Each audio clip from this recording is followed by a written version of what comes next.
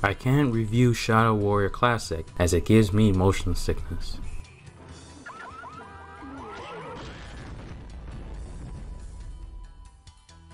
Zilla sends his regards.